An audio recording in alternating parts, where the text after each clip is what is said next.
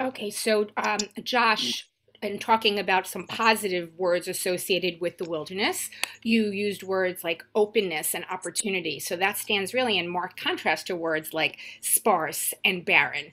Uh, anybody else want to say anything positive about a wilderness? Marilyn? I love the desert. Uh, it's so beautiful when the desert flowers and people seem to have warm, sunny personalities. It's it's beautiful. Right. When you think about places where people retire, like Scottsdale, Arizona, right? you know, places Tucson, Tucson, you know, places of yeah. desert. Mm-hmm. We, they're not moving there because it's a barren, desolate place. I mean, they're not going for the negative aspects of desert; they're going for positive. So maybe it is Dafka very fitting that Matan Torah, the revelation of the Torah at Sinai, happened Dafka in the desert. Uh, a few years ago, in the uh, I think it was called the Jewish Journal, uh, there was an article entitled Parshat Bamidbar, The Wilderness Speaks. And for some reason, I don't see an author's name on it, or I would attribute it, but um, he writes, um, he looks at the word midbar and changes the vowels. And if you have the very same Hebrew letters midbar and switch it uh, to the vowels, switch the vowels a bit, you have the word midaber, which means speaks. And he makes this point that the wilderness speaks to us. And he mentions in particular three aspects about the wilderness that are really significant. One is that the wilderness teaches humility. Because in the desert, he writes, it's hard to maintain the illusion that we are the center of the universe. Vast expanses of open land, exquisitely carved by millennia of wind and weather, stretch out in all directions. So it's very hard to look at that and say, oh, I created all of this. When you look at gigantic night skies with stars galore, it, it, should give you a sense of awe and of God being the creator. So he talks about the wilderness, number one, teaching humility. Um, he also talks about the wilderness teaching gratitude because it's in contrast to the comfort of our homes in the wilderness, it's easy to take things for granted, but in the wilderness, Bamidbar, you learn to notice and count your blessings. And then, thirdly, uh, there's the idea that the wilderness teaches courage, that when you set out into the desert, that is an act of bravery. And our tradition teaches that the majority of Bnei Israel actually wanted to stay back in Egypt in slavery rather than face the uncertainty of the journey. So as you said, Josh, there's openness out there in the desert, but with that is also with openness comes uncertainty. So uh, the just wanted to end on speaking about the Midbar. He writes about it in general in the context of Parshat Bamidbar, the book of Bamidbar, but I think also his point is very applicable to the idea of Torah being given in the desert. He writes, I could almost hear the Midbar speaking to me. I wondered at its austere beauty and felt thankful. Most of all, I felt a surge of pride to count among my ancestors those who had the chutzpah to walk through this wild place, who taught me through their example that the world expands in proportion to our own courage. Hamidbar midaber, the wilderness still speaks to us, whispering its timeless wisdom as it taught our ancestors long ago. So I thought that was a really nice take on the wilderness and kind of a good way of us paying homage to the weekly Torah portion, Parshat Bamidbar, although we're actually going to go back now to the book of Shemot, to Exodus chapter 19, and look at, read, discuss the description of Matan Torah. So we're not going to look at the Ten Commandments themselves. We're going to look at the chapter preceding the Ten Commandments and what that context was. Uh, so does everybody have a text that they can bring up in front of them? Exodus 19? No. I'm seeing some nods. Okay, so if I have to put something up on the screen, then I'm not going to see all your faces, but I will do what I can here. So give me a moment. I will share the screen.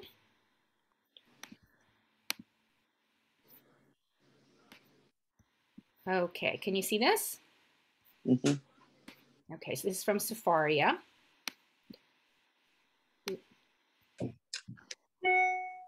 Okay, Sefaria. So uh, will someone read for us uh, in the English? You could use this English or the English that you have in front of you. Uh, who would like to read? I can't, now, of course, I can't see who's raising their hand. Elaine, go ahead.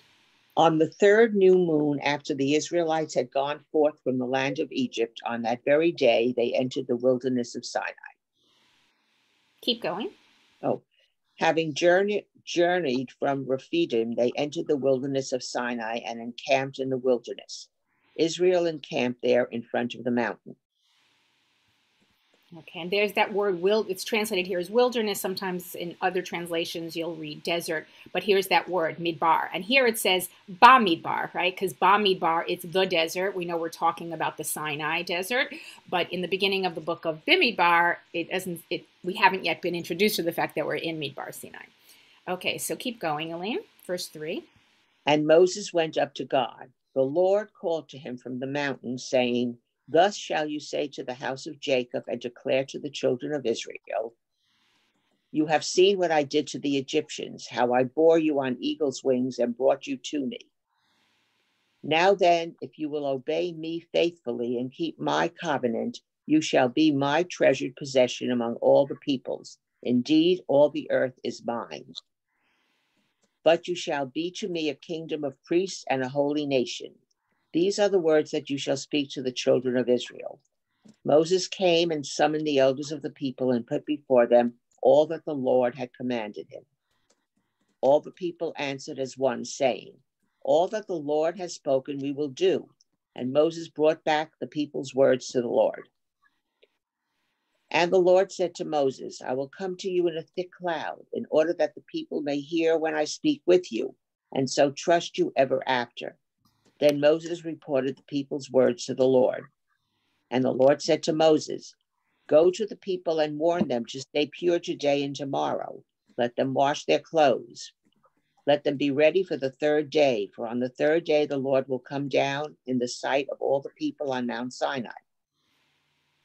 You shall set bounds for the people round about, saying, Beware of going up the mountain or touching the border of it.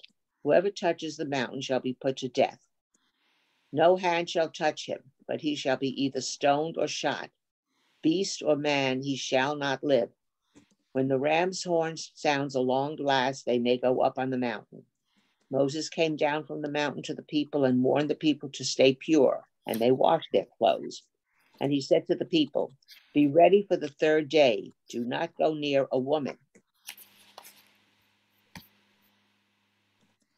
Moses led the people out of the camp uh, toward one more, uh, read right here um, on the third day. On the third day, on the third day, as morning dawned, there was thunder and lightning, and a dense cloud upon the mountain, and a very loud blast of the horn, and all the people who were in the camp trembled. Moses led the people out of the camp toward God, and they took their places at the foot of the mountain. Now Mount Sinai was all in smoke, for the Lord had come down upon it in fire. The smoke rose like the smoke of a kiln, and the whole mountain trembled violently. A little higher. The blast of the horn grew louder and louder. As Moses spoke, God answered him in thunder. The Lord came down upon Mount, Sinai on the top of the mountain, and the Lord called Moses to the top of the to the top of the mountain, and Moses went up. The Lord said to Moses, Go down, warn the people not to break through to the Lord to gaze, lest many of them perish. The priests also who come near the Lord must stay pure, lest the Lord break out against them. But Moses said to the Lord, The people cannot come up to Mount Sinai, for you warned us, saying, Set bounds about the mountain and sanctify it. So the Lord said to him, Go down and come back together with Aaron, but let not the priests or the people break through to come up to the Lord, lest he break out against them. And Moses went down to the people and spoke to them. God spoke all these words, saying, Okay, and then we end up with the first, that's the beginning of the Ten Commandments, begins with the word Anochi. Anochi Hashem Elohecha, I am the Lord your God who brought you out of Egypt, the house of bondage, etc. Okay, so uh, this story of Matan Torah, the giving of the Torah, describe to me in your own words what did it look like what did it sound like what did it feel like if you were there and you had to describe it to somebody what words would you use? Thunder. Thunder, yeah. We have a whole like sound and light show going on there, right? Some of you went to that sound and light show in Jerusalem. This must have been even more than that, right? Ruth, go ahead. I should think there was fear among the people because it sounded so ominous. Yes, there's a lot of, you know, beware, don't do this, do this. They're trembling, right? This real idea. Trembling could mean that you're looking forward to something, but there's a fear factor in there as well. Yes. Um, anything else, um, Marilyn? I would think there would be hope. Things would get better. Okay, so better compared to slavery or better compared to slavery. To, yeah, I mean we'd hope, but you know, as I mentioned earlier, there were a lot of people who actually wanted to stay in stay in Egypt and be slaves because better the certain slavery that they knew than the uncertain wilderness that's, and that's, relationship that was in front of them with God uh, and the rules exactly that right. all of that. Uh, okay, so there's a nice description. There's a lot of. It sounds like I'm thinking Moshe might have been really tired going up and down that mountain. Right? It doesn't sound like he just went up and then God spoke to him and then boom, Ten Commandments. That's how it happens in the movies. But here he was in better shape than the rest of us. He was in better shape than the rest of us. Exactly. it was a uh, smaller mountain. Right. So um, I, I want to share. I do want to share with you uh, some uh, Talmud pieces. This is a class on it's Torah tidbits, but also with Talmud tidbits as well. And the piece of Talmud that I'm going to show you is from the book. Uh, it's uh, it's based on a verse in Shemot in Exodus chapter 19, verse 17. And the piece of Talmud we're going to look at it's a Masechet Shabbat, the tractate that's known as Shabbat, uh, Daf 88 Amud Aleph. So eh, Shabbat 88a. So first, let me just go back to what Elaine read before. Let's go back to Exodus 19, and it's Exodus mm-hmm. 19, 17. This is the verse we're talking about. Okay, so the, Elaine read the translation here. It said they took their places at the foot of the mountain. In Hebrew, it's vayityatzvu betachtit hahar. And the wording bitachtit hahar is considered to be unusual. It's not a typical way of saying at the foot of the mountain, and that is what really begs for commentary here. Uh, and it's understood in a different way because what is the word tachtit comes from? It comes from the word tachat. Tachat is actually the uh, the word that you use for tush, like tuchas, like your bottom, right? So tachat, tachtonim are underwear. So tachat actually if we connected to that root, it should be something more like under, which is really strange. They took their places under the mountain, uh, which is why this translation goes in this direction of taking place at the foot of the mountain. So uh, let me share with you now. Um, okay, so first.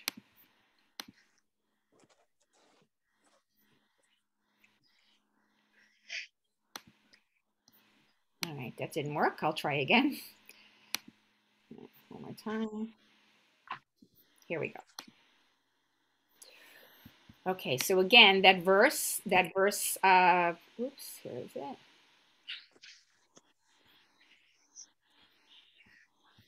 Right, so here's the word I was talking about. Okay, and now we're going to look at the Talmud, Shabbat Pechet Amud Aleph, which is Shabbat 88a. 88a. It starts with a quote, this quote from the Torah, uh, and I'll read in Hebrew, hahar. Uh, and Moses brought forth the people out of the camp to meet God, and they stood at the foot of the mountain. Rabbi Avdimi Bar Chama Bar Chasa said, the Israelite people actually stood beneath the mountain. Okay, in Hebrew, it's here.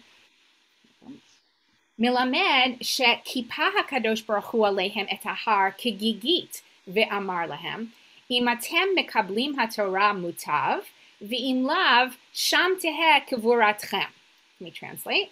So Rav Avdimi, the son of Chama, the son of Chasa, says that God actually took the mountain, took Har Sinai, and held it like a kippah, a kippah HaKadosh Baruch Hu, God as like a cover God put a cover of uh, Kigigit.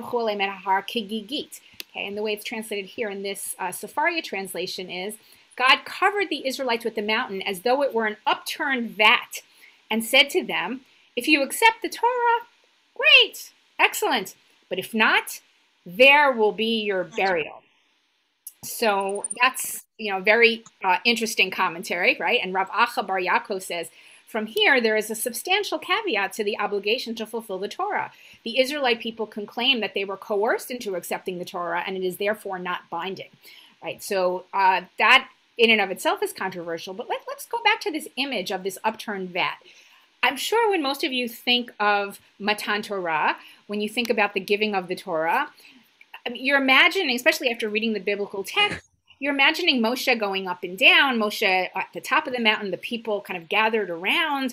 I don't know, maybe if there is a lot of fear there, maybe they have one foot in, one foot out. They have one toe away from the mountain, one foot. But we certainly would not be picturing this idea of a mountain like a, a, a kippah, like a gigit, like this upturned vat on top of Bnei Israel, because that seems that maybe there wasn't free will, and that then makes it a little more problematic.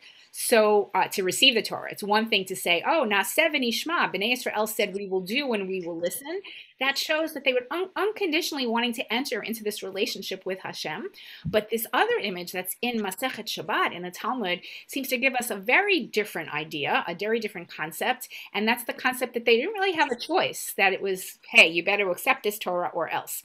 So, any comments on this piece of Talmud, uh, and, or even on the idea of whether or not it makes a difference uh, that the Torah was accepted willingly, or if it was more of uh, no choice in the matter kind of situation? Yeah, no, it's a great que- It's a great question. My um, um, in listening to this, it, it reminded me of, uh, of a very interesting work that was written by um, by uh, by Rabbi uh, David Weiss Halivni years ago, um, entitled Holy Writ, in which in which he he made the interesting argument that that while the Torah was given at Sinai, it wasn't received at Sinai. Hmm. That it really wasn't received un, until the, the the time of uh, uh, until the time of Ezra, if my recollection is correct, and uh, it, it does sort of underscore the fact that uh, that you know we, we immediately think that if one is given something that that the other one that that that the other one takes it. But uh, the fact that one he was arguing the fact that it was given did mean that the that that that the people were ready to receive it and that it took some time before before they warmed up to the idea. And that was a combination of both the you know the the the novelty the novelty of it the fear of being introduced to things that are new which is you know just part of our nature. We don't accept things readily that are altogether new to us right? Right. So it it, it would seem to make it, it would seem to make sense. At least it makes for a plausible argument. Whether that's really the case or not i don't know. But it makes for at least in my judgment for a plausible uh, way of looking at it Okay, so um, I see. Let's thank you for those comments, Josh. I see Bobby has uh, some type of artwork here uh, about the giving of the Torah, and we definitely have a very awe-inspiring event. We see the lightning. We can't hear the thunder, but we can imagine that sound. And look at where the people are. Right. So, is this? I don't know if we can tell from this um, from this drawing, or I don't know if is it a drawing or a painting. I can't see from here, or I think it was an etching originally. An etching. All right. So we can clearly see the people and we don't see any representation of like a hand of God. It's very hard to represent that in a pictorial form without being too anthropomorphic. Uh, but um, do you do you have one with the hand of God in that same in that same book? Africa. Uh, this is from the Passover Haggadah of Saul Riskin mm-hmm. from the 19. I just saw the hand. Ah, I always like this drawing too, very much so. Oh, there's a hand here. Ah, okay. So this actually, so boy, there we're having a, a anthropomorphism writ large.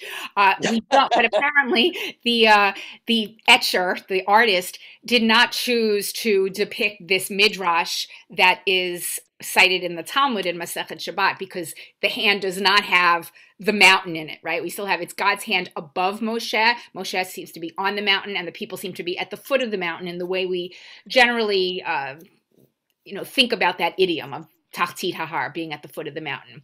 Thanks for sharing that, Bobby. What what book is that from? Did you say Riskin? Haggadah Shel Pesach? The Haggadah. Shaul Riskin. Riskin. Okay, thank you. All right. So um, let's go back and look at some more Talmud because this Talmud that I shared with you is I I said it's it's in Masechet Shabbat, and that particular piece talks about God gives this uh, idea of God holding a kippah, the the Har Sinai, like a kippah on Bnei Israel.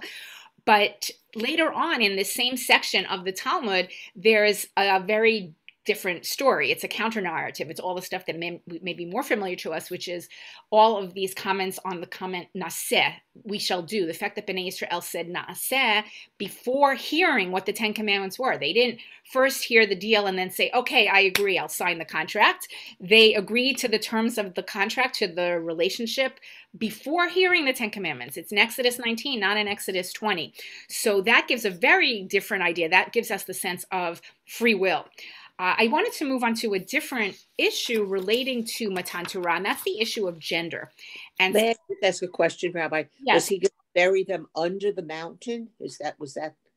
Um, no, it didn't say that anyone was buried under the mountain. It was more, the comment was more of a threat. It was no, uh, God saying to to Bnei Israel, "Do you want the Torah? Well, you better say yes, or else I'm going to drop this mountain on your head, and this is going to be your burial place instead of this, yeah, like, you know, the nice."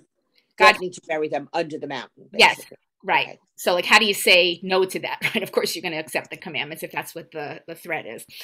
So, going back to this source sheet that I put together, I'll take you to another. Still addressing the issue of what happened at Mount Sinai, and we've seen some of you respond to it. We've seen some of the artwork that Bobby shared with us. We've seen his comments in the Talmud, and I'm going to go past this and go to my next text here. Okay, so um, this next text that I'm going to share is going to make the case that the women and the men heard the Torah differently. Okay, and it's based on this verse, Exodus 19, verse 3, that Elaine read earlier. Uh, and I, I added some Hebrew transliteration to it. So Elaine read, and Moses went up to God. Hashem called to him from the mountain, saying, Thus shall you say to the house of Jacob and declare to the children of Israel. When she read it, and when we hear it in the pshat and the plain meaning of the text, we think of House of Jacob and Children of Israel, Beit Yaakov and Bnei Israel as synonymous. It's just like two ways of referring to the same people. But there are some commentaries that actually view Beit Yaakov as referring to the men who were present uh, sorry, the other way around, that Beit Yaakov referred to the women who were present, and that Bnei Israel referred to the men who were present. In fact, some of you may be familiar with the girls' yeshiva known as Beis Yaakov, right? So sure. I here is Beit Yaakov. Beis Yaakov was formed and given that name because of the midrash that I'm about to show you. This comment on this Torah portion that we can see um, in, on in, that is quoted by Rashi. So Rashi quotes, and he's actually basing it on Mechilta. Mechilta is a uh, Mechilta de Rabbi Yishmael is a midrash, and according to Rashi, he says Beit Yaakov, Beis Yaakov. This denotes the women. To them you shall speak in gentle language. Tomar la elu hanashim, tomar lahen bilashon rakah. So same words, but speaking in a different way. Uh, and then, okay, so that's from the Mechilta but Vataged livnei Israel, and this is what you should say to Bnei Israel. What does that mean? That means the men. Okay. So here, uh, did I translate it? Yes, here. So Beit Yaakov, Beis Yaakov is the women, children of Israel, Bnei Israel, the men. Uh, to Beit Yaakov, to the Beis Yaakov, to the women, speak gently, which means give them women the basic ideas. But when you're speaking to Bnei Israel, the men, you should speak to them. And what does that mean? In detail. So, gently to the women and in detail to the men. To me, those don't seem like opposites, right? It seems more like if it was gentle, it would be gently and harshly. Um, and if you wanted to have an opposite to in detail to the men, you'd have you know, kind of general terms to the women and just detail to the men. So what do you think about this commentary? What do you think it's trying to teach us? Why did the men and women have to be spoken to differently according to the Mechilta? Helen, do you want to unmute? Maybe the, the women were able to grasp it uh, with the basic ideas, but you really had to flush it out for the men to understand it. That's a nice feminist read on this, right? because they're right now. Thank, say, thank, thank you so much for that. Yeah, Helen. So, right, you had to man. God had to mansplain to the to the man. Right. Sorry, Josh, you're outnumbered here. Uh, but it's funny because you know I've always been outnumbered. It's okay. You've always been outnumbered in all kinds of ways. Uh, it's interesting. I should uh, correct what I said in terms of saying feminist reading. Feminist reading doesn't always mean pro women. Um, a feminist reading of the Torah would be pointing out the negative depictions of women in Torah and commentary, and a feminist would be pointing that out by saying, "See, look at this patriarchal narrative and how it excludes us, and uh, we're not part of this." And it's like we were not at Sinai; it was we were we were not part of this uh, covenant, this relationship, but Helen's way of understanding these very same words, another way of being a feminist read on it is to be more pro women and to say, look, we can redeem the It may seem like this is an anti woman type of commentary, but really it isn't. The men needed the detail. Uh, the women were able to get it just from from general. Uh, any other comments on this before we we look well, at? I don't think that's really what they meant. I think they meant that the women can't understand detail. Right. So the idea is, yeah, the, kind of they don't really understand. They can't handle so much. So let's give the whole thing to the women, to, to the men, but the men not so much. What about this idea of gently? You know, when you first start reading this, lashon raka, uh, speaking speaking to the women gently, that to me sounds nice, right? Speaking to them in a gentle language, like that seems to me like a nice way to speak to everyone, not just to women. So, what do you think the counterpart to that would be? Um, that they're talking talking to them like children, like you would speak uh, to a child. Oh, I see. So you're looking at it. So a, ne- a negative feminist read on this, right, would be uh, yes, the women can't handle the harsh specifics. So let's just let's you know give it to them, break it to them gently, as you say, as that comment is. All right, let, that says the Mechilta. Let's see what uh, Shmot Rabbah has to say on it. So Shmot Rabbah is another midrash, and again, this part that's in bold, Koto Marla Beit Yaakov, is this same verse from the Torah. It's this Exodus 19 verse 3, and again, just like the other midrash says, Elu Hanashim, these are the women. Um, Amarlo, Emor lahem Rashi Devarim Shehem Yuchalot Lishmoa. Uh, say to them the kind of head topics, the general topics that they are able to hear and maybe understand. Uh, then this quote from the Torah, "Vataged livnei Yisrael," and what you shall tell bnei Yisrael, "Elu anashim," these are the men. Amar lahem, amar amar lo, amar lahem diktuke dvarim shehem yicholim lishmoa. So we understood this to mean things that they are able to understand, but lishmoa really means to hear, and I don't know if that makes this any difference. Um, but let me, I'm going to go on to the English translation so you can follow with me. All right, could someone, would someone like to read this? I just read this part. This was uh, the part I translated. Okay, but now there's another explanation, a davar acher. I always love the davar achers, that there's another way to read this. right, so somebody else, Betty Ann, would you like to read? Sure. Another explanation, why were the women given the Torah first? Since they hastened to observe a mitzvot. Another explanation, so they could lead their children to Torah. Rabbi Tehila Kassarian of Caesarea said, the Kadosh Baruch Hu, the Holy Blessed One, said, When I created the world, I commanded only the first man, Adam, and after that, Chava was commanded and she transgressed and corrupted the world. Now, if I do not call to the woman first, they will nullify the Torah.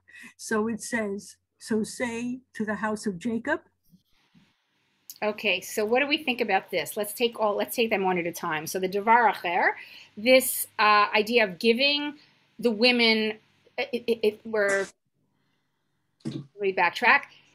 We were talking about different ways that it, that the Torah was given to the men and women. This midrash seems to go one step further and saying not just that it was given to them differently, but that they actually were given the Torah first. So that other midrash, the Chilta midrash, on the first part of Shemot Rabbah is talking about simultaneous giving to men and women. But here we're going one step further and saying the women got the Torah first. And was that how do we read that from a feminist lens? Is this anti-women? Is this pro-women? Uh, does is it neutral? Okay, so this first one, since they hasten to observe the mitzvot, you know, is that what does that say about the women? That's positive.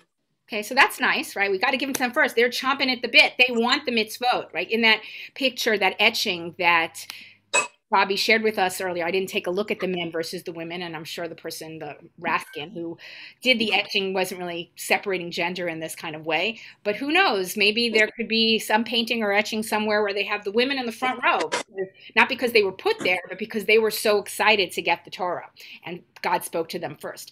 Okay, so there's another explanation uh, why the women first, so that they could lead their children to Torah. You know, is that a positive representation of women? negative, neutral, just another way of accounting for the women going first, according to this midrash. Well, they they're the ones who teach the children. Right, but is that a good? Is that saying something good about women, or something yes. bad about women, or yes. something neutral about women? I think it's good, but on the other hand, there was a little part in there that said that Eve was was the one to blame Right. So we're not there yet. That's why I'm taking them one at a time. Right. Okay. So oftentimes when we read Midrash, we look at it as a whole. And especially if you read the last piece and it seems negative, you walk away from it saying, ah, oh, this Midrash was so anti women. I'm taking it apart a little bit to show that mm-hmm. there's lots of ways to present it. I mean, first of all, they didn't have to discuss gender at all. There was no read, there's nothing in the p'shat, in the plain meaning of the text in Exodus 19 right. that mentions when men and women in in this part. Um, there is something in the p'shat of the text that where God says to Moses, "Tell the people not to go near a woman for three days." Right? That whole don't don't go near the women in preparation for Matan Torah.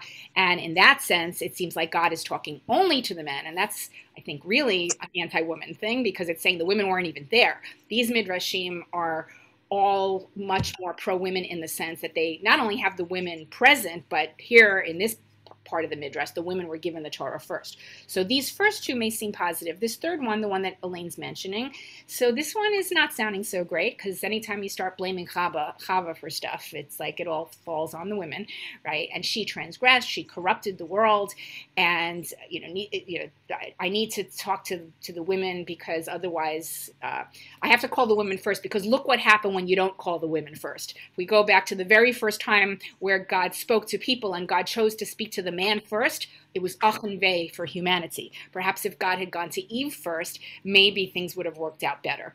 Uh, so this time around, God wants to do it the right way and gives the Torah to uh, Bnei Israel first. So any comments on any of these midrashim on the yeah, I yeah, I, I think when you when when we think of it in this light, you know, it, it it's sort of it it isn't. I I think one could make the argument it, it, it says it, it, it says a, a, a, number of things about men that aren't altogether favorable. You know how easily we can how easily we can be swayed, how easily we can be how easily we can be distracted. You know, I, I think it speaks as much to the fr- fr- the the fragile nature of who men are as it as, as as it does anything with respect anything with respect to women especially given the fact that that that when we speak of knowledge, especially in, in using the Hebrew language, it's invariably spoken of in the in in in, in the fem, in, in the feminine sense. And and and I've always I always found that to be to, to be interesting, which is why I've always been comfortable being outnumbered. um, because I, I told my I, to, I told I told my son Max years ago I said listen don't be fooled by the fact that there are two men and uh, two two males and two females in this house. Trust me, we're outnumbered. I know you're looking at. I know you don't get that, but when you get older, someday you're going to come back to me and you're going to tell me, you know, when you said that to me, now I get it. Rabbi? Yes, go ahead. I, I think that this just this uh, additional phrase just indicates even more that the feeling may have been from the first number one and two that women are more aggressive and that they will be first and take over first. And so men beware, just get the details and don't share as much to the women. Okay, and when you say that, um, are you saying it in a in a negative way about women, positive or neutral?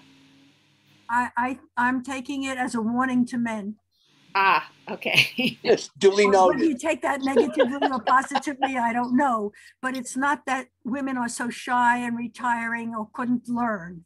Right. I don't, I don't think that is, that is definitely a negative, and I don't think that, that from these inferences here are indicating that it is not so. It's the reverse.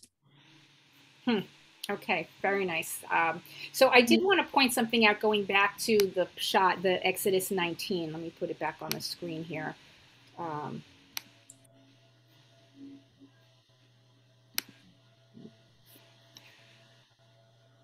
actually, I'm not going to do that. Um, let me just find it here. Um, bu- bu- bu- Right. So the part about the three days not coming near a woman, uh, I misspoke before. It wasn't God who issued that command. It was Moses' reinterpretation of God's command. Right. So God does say, uh, said, okay, um, so God talks in chapter 19, verse 11, uh, starting in verse uh, 10. God says to Moshe, Go to the people and warn them to stay pure today and tomorrow. Let them wash their clothes. Let them be ready for the third day, for on the third day the Lord will come down in the sight of all the people on Mount Sinai. And then in verse 12, God says, Beware of going up the mountain or touching the border. Uh, whoever touches the mountain shall be put to death. You know, no mention of women. The only thing possibly alluding to women is when God is saying, warn them to stay pure. Maybe pure means not having sex for a couple of days, but even there, it it says uh, today and tomorrow. It's just two days. And when Moshe interprets God's words in verse 14, when Moshe comes down from the mountain and warns the people to stay pure, he says, be ready for the third day, do not go near a woman. So Moshe is adding this of his own will. So this has something to say about God, about Moshe more than it does about God. Uh, I don't know what that has to do with any of our gender discussion, but I thought I would add that in there as the one piece in chapter 19 that does address uh, gender in some way. Yes, Ruth. Um, I guess you know by now that my mother was a feminist from the 1920s. But when I asked her why we have to sit in the balcony and why I can't sit down with my dad, she said, Men are weak and they can't be near a woman without losing their concentration. Right. Which is what I said. Which is what I said. That's earlier. what Josh was alluding to earlier, right? So it's like their problem. So yeah, we got. But their problem, not ours. And, and by and by and by the way, it- there women weren't the only feminists in the 1920s. There were men who were as well. Floyd Dell is, is a is a is a great example of that. Thanks for that. You got to stand up for your people, Josh. no, just ju- it's it's it's just it, it's it's just about the historical record. It just you know there, there were men who were part who, who were part of who were part of I think my grandfather was because um, he allowed my mother to do things that an Orthodox man wouldn't normally allow his daughter to do. Turn of the, you know, she was born in 0- 02. Mhm. So I think he was a feminist as well. yeah yeah. I always thought that. So the last thing I wanted to, to uh, two last points about Matan Torah, about the giving of the Torah. Uh, one is back to the issue of was it free will or did they did Bnei Israel enter into this covenant willingly or not only willingly but eagerly? And many of you have heard famous jokes, which I'm not going to tell um, about the Ten Commandments, but it actually the joke stems from the Midrash, also from Mechilta de Rabbi Yishmael. So I'm going to share that with you as well.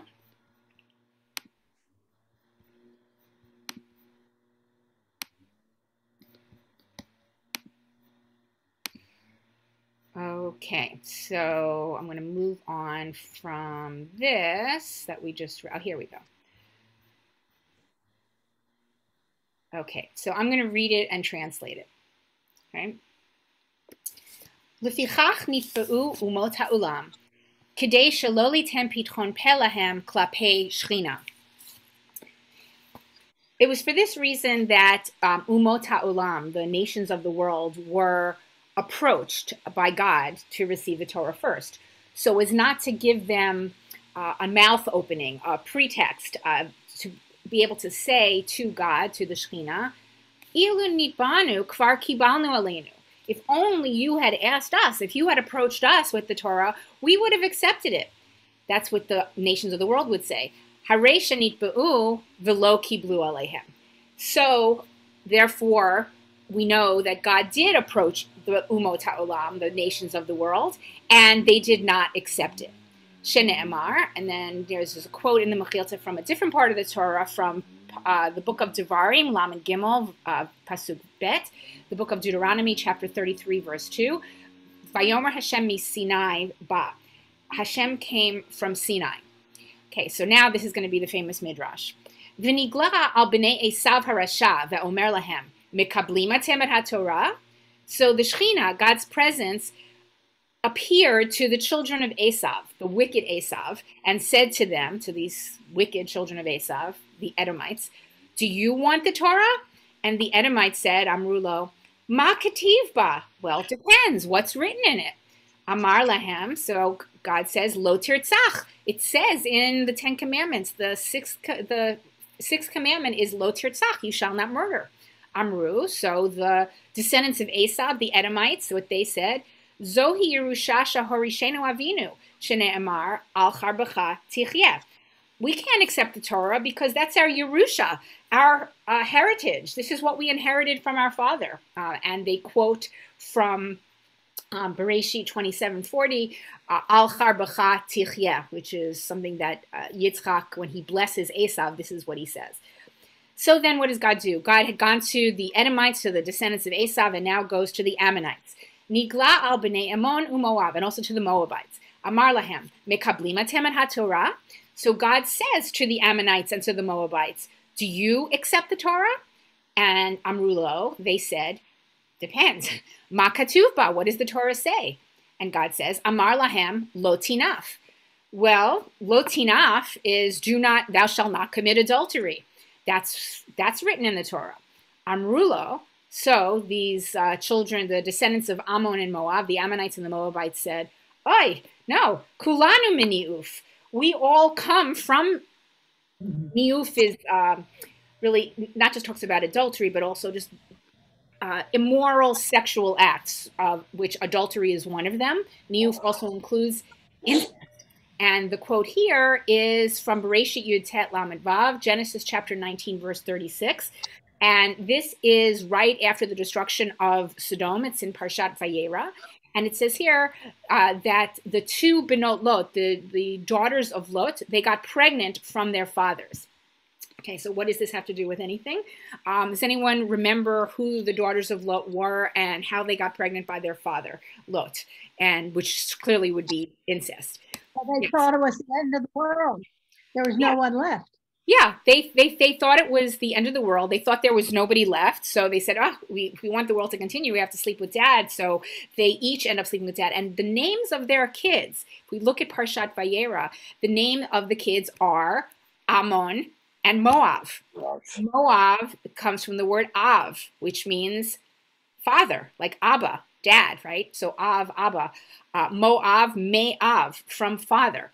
And Ammon and Moab were the original children. These are the children of Lot and each of his daughters, the older daughter and the younger daughter. And then their descendants are the Ammonites and the Moabites. So here, when God says to them, you want the Torah, and they say what's written in it, and God says, well, you can't do immoral sexual acts, and say, oh, count us out, because we actually stem from immoral sexual acts. We come from Niuf. We are the descendants of Ammon and Moab, and uh, we're the products of incest. So, third case, Nigla al b'nei Ishmael. So now the Shechina, divine presence, is now God shows the divine presence to the children of Ishmael, to the descendants of Ishmael. Amar lahem, mekablim etem ha-Torah. Do you accept the Torah? Amrulo, ma katuv ba. So again, they asked, well, what's written in it? They want to hear what's written in the Torah before they will agree, yes or no. Amar lahem, so God says to them, lo tignov. It says um, Lo tignov means don't steal. That's one of the Ten Commandments. Amrulo, so Yishmael said, the children of Yishmael said, uh, Bizo habracha nitbarech avinu. Uh, this is the very blessing with which our ancestor Yishmael was blessed. Going back to Bereshit Tetzayin Yud Bet, Genesis 16, verse 12. Hu para adam uh, he shall be a brutish man, a wild man. And uh, then it also says later on in Bereshit, man ki ganov gunav gunavti. Uh, this is Lavan, Lavan who, uh, is that right? No, that's not right. Um, but this is talking about Ishmael, right? Uh, so you have these three people, three sets of people the Edomites, the descendants of Esau. Two, you have the descendants of Ammon and Moab. Three, you have the descendants of Ishmael, and all of them find a reason not to accept the Torah once they hear what's inside it, because there's at least one commandment that they find objectionable.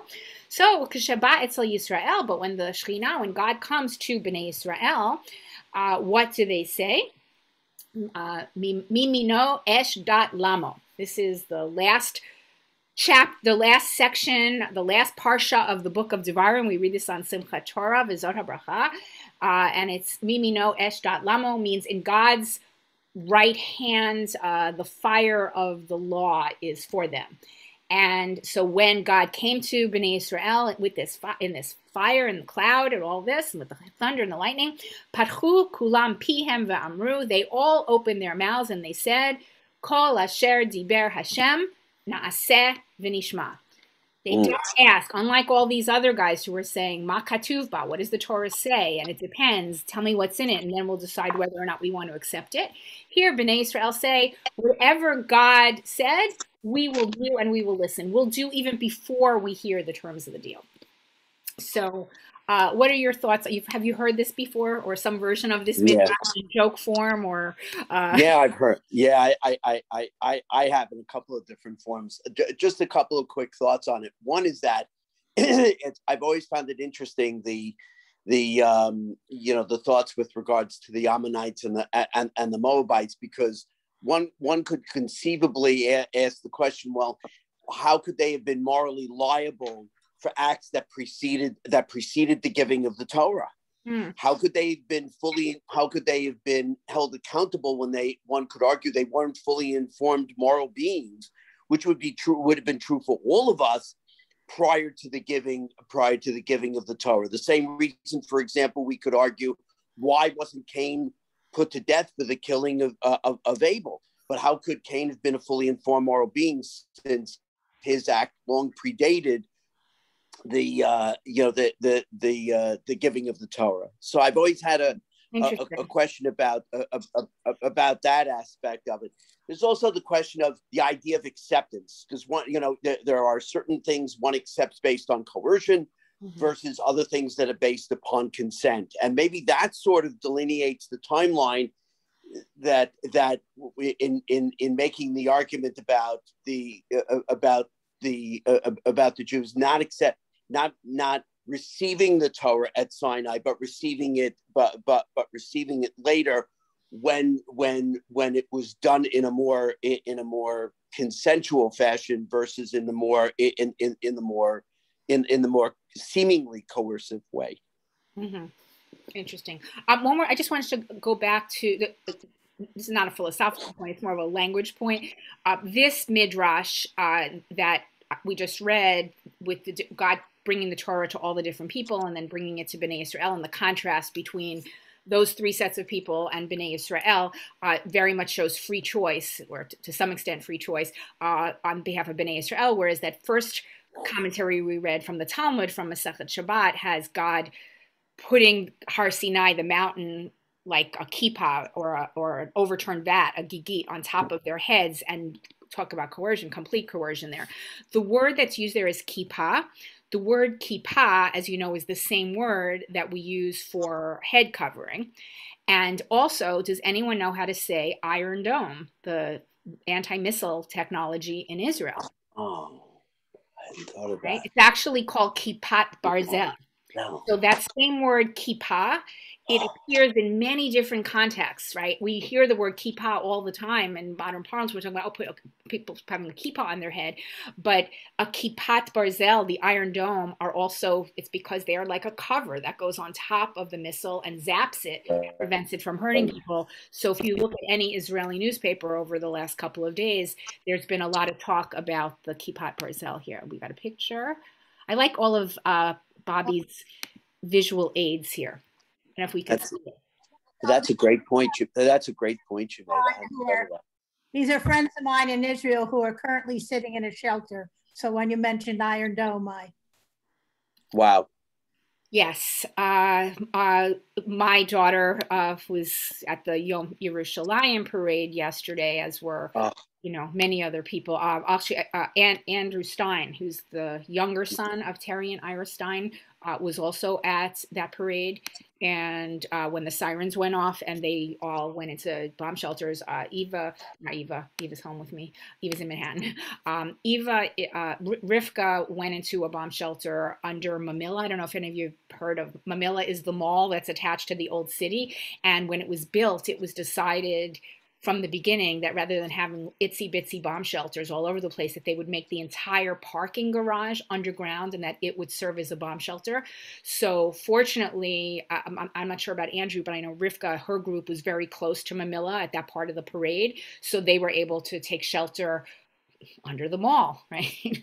Uh, which is a very big space. Like it's a it's a much uh, if you have to be in a bomb shelter while Iron Dome is doing its thing, you may as well be somewhere that's spacious. Um, and yeah, then, yeah, yeah. You know, not to make light, but then you can go shopping afterwards, right? I kept I keep saying Eva because I was thinking it'd be Eva's dream to be in a bomb shelter in uh, mm.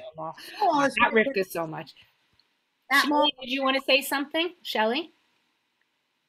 No, she's talking to somebody else. Okay. Um, okay. Uh, someone else wanted to say something. Was it was it Rini or Ruth? I saw. I, I heard somebody. Rabbi. Yes. I have to leave now. I just wanted to thank you very much. Oh, so, sure. Thank you. Sure. We're, um, good luck. Let us know what happens thank when you leave. Okay. Yeah. Thank you. Yes. Thank you. All right. So we're about. I'm going to just wrapping. Going to wrap up the Matan Torah. Kind of a big issue to wrap up with. Uh, it is. Called, uh, denominational difference. Before I move to the Book of Ruth, but let me share this with you. Uh, back to while you're looking at that, I was just thinking about because you mentioned at the end of Deuteronomy where it says Naseh Nishma. Mm-hmm. That's always been a that's always been a a, a, a, a source of endless conversation of endless conversation because it sounds so odd to say Naseh Nishma. You know, do and then and, and and then listen. What kind of seeming nonsense is that? Right. But I've always thought of I, I've always thought that it really wasn't nonsense because if you think about the role we play as parents, mm-hmm. like how is, isn't that exactly what we do with our with, with our children? We tell them what to do and what not to do when they're very young, mm-hmm. and then when they get older and their minds mature, then we explain to them explain why to we told them to do mm-hmm. and not to do. Exactly. So isn't that I've always sort of thought of that as paradigmatic for parenting. Interesting. Uh, by the way, the quote is not from Deut- it's not from Deuteronomy. The Deuteronomy quote is the one about uh, God's right hand, Esh dot lamo, Mimino Esh dot oh. lamo. The Naseh V'Nishma is in Parshat Mishpatim. It's in the book of Shemot, chapter 24, 7. Um, so the last big point, uh, which we can't clearly discuss, but I just wanted to put out there in terms of asking the question, what happened at Sinai? Yes, we could look at gender differences. Yes, we could look at whether it was free will or whether Bnei Israel accepted the Torah willingly or even eagerly. Uh, but there's also the big question of denominational differences. And well, I'm not talking about man on the street or woman on the street who goes to a reform, conservative, orthodox, reconstructionist shul. I'm talking about the ideologies of the movements. Uh, clearly, we all may go to synagogues where we don't necessarily agree with the ideology, but there are very big denominational differences specifically regarding the ideology of what happened at Matan Torah. And specifically, this question of revelation, what happened at Sinai. And we talk about uh, what happened, what do you mean what happened? The question, what happened, is also an issue of was it a supernatural event or was it not? Was it God speaking? Did God actually give something at Sinai, or is this more a story that was told by people after the fact? And uh, the further to the right you are in the movement, so Orthodox and then followed by conservative and then Reconstructionist and Reform, the more you're going to say this was a supernatural event that God actually spoke at Sinai. And uh, and what did God speak? God gave the oral Torah and the written Torah. And if God gave the oral Torah and the written Torah, then the oral Torah, the authority of it, of the Torah Sheba'al Peh, is very high. And uh, the source of the Torah's authority is from God, and the level of the Torah's authority is high, and the ease of halachic change is low. And then as you move further from the right to the left in the denomination, moving from Orthodox to various shades of conservative to uh, to the Reform movement, uh, going all the way to the leftmost part of the reform movement, the more you would say in answer to A that what happened at Sinai was well, something happened. Not sure what it was. It might have been just, uh, you know, a very extreme weather day, lightning and thunder, and people saw this and they were moved and they came up with this story, which doesn't mean that it's not doesn't it's not meaningful for us. It's part of the sacred narrative of our tradition, and so we do honor it, we respect it. But the Torah Sheba'al Peh, the oral Torah, all of those commentaries were not given by God. The source of the Torah's authority primarily comes from human beings, which means that the level of the Torah's authority when it comes to Jewish law is low. Uh, or lower than it would be in, say, the conservative or the Orthodox movements. And the ease of halachic change is um, easy, no problem. Um, the idea of halakha is being having more of a uh, a vote, not a veto. That we could learn Jewish law, but it's we really go by personal autonomy. That's how it as you get more to the left in the Jewish movements, that's uh, the easier halachic changes. So I wanted to at least share that with you. It's a, a, whole class in and of itself, not only a single session, but like a college semester. We could talk about the difference in denominations, but I didn't want to leave the story of Matan Torah without uh, at least picking this up. So I'm going to now very abruptly shift to Ruth Lipman's book, otherwise known as the Book of Ruth or Megillat Ruth. So if you have a, a Tanakh, uh, or if you want to go into Sefaria, okay, and I think you know. Yeah, I've, I've got I've I've got to run, but this was really just just Thank great. You, so you're going to leave the women to talk about the women, to talk about. Well, you know, but but listen, I was out I was outnumbered for over an hour. okay, thanks for your comments, Ash. They're uh, uh, enlightening as always. Okay, so um, thank you so much. I'm going to put Ruth up on the screen because I'm going to assume that you don't all have it. Uh, and if you have a different translation and want to share it, Gesundheit. Okay, so Ruth. Okay, let me switch my focus here. And I thought we would just do a, a, a close reading of, of the book of Ruth a little bit, uh, since oftentimes we talk about Ruth in generalities, but we don't talk about don't actually read it. So in the time we have, I want at the very least to do a close reading of chapter one and address some general issues. Uh, but let's start from the beginning. So Ruth, would you do us the honor of reading the first couple of verses of the book of Ruth? Um, you need to unmute. In the days when the chieftains ruled, there was a famine in the land.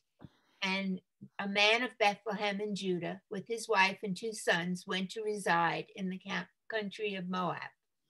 The man's name was, um, okay, Emily Elimelech. His wife's name was Naomi, and his two sons were, were Mahlon and Chilion, Ephrates of Bethlehem in Judah. They came to the country of Moab and remained there. Okay, so, so, sorry you had to break your teeth on a whole bunch of crazily transliterated words there. Uh, and I actually going to share with you some commentaries on the significance of these names, because in the Tanakh, oftentimes the store, the names of people are very uh, telling. They foretell the future in some way, or they indicate uh, something thematic about the story and about these people. Uh, but before I do that, let's uh, go to the first uh, chapter, this verse one. So we had just mentioned Moab, right? When I was telling, showing showing you with Matan Torah, the giving of the Torah, and the Moabites were, they are descendants of Moab. Moab means Me'av. So the Moabites are not viewed very favorably in Jewish tradition, not only because they're the products of incest, but also uh, they, the Moabite women were considered to be seductresses who not only enticed the Israelite men to have sex with them, but also to be idol worshippers. And in fact, in the Torah, in a different part of the Torah, in the book of Devarim, there's very strong language against the Moabites, saying that we should not let the Moabites into our midst. So the fact that in the very first verse we're getting this a mention of Moab is ominous. Um, this other part here, Vayihi Bimei, in the days when, um, Vayihi Bimei Shfot HaShoftim, in the days when the chieftains ruled, also an ominous sounding beginning. Uh, there's in Midrash Ruth Rabbah, there's some commentary on is every time we say uh, you start a story with Vayihi Bimei, is it bad or is it sometimes good, sometimes bad? Here, clearly it's bad. Um, Shafot HaShoftim, the time of the judges, the chieftains, was a time of unrest in Israelite history. It was a time between uh, we had Shmuel, Samuel the prophet. Right before that, we had Joshua. And before Joshua, there was Moses. And then after the Shoftim, there's the kings. Shoftim was this in between period where there was no centralized authority and things were not great uh, uh, among the people. There, you'd have some chieftain who came and saved the day for a short period of time, and then things went south again. Uh, Vayihi Ra'av Ba'aretz, there was a famine in the land. Never good when a story starts with famine. And in particular, here you have Beit Lechem, house of bread. Okay, we see the word Bethlehem and we, we think of it as just a place name, but Bethlehem is actually the house of bread. And how ironic for a house of bread, Beit Lechem, to be a place of Ra'av, a place of famine. So already packed into this first verse, we have a lot of ominous hints that this is the story is not going to start out as a happy one. And then in chapter in verse two, chapter one that Ruth read with all these crazy names, uh, there is some significance to these names. So let me uh, find what I wanted to share with you on this. Okay, a second.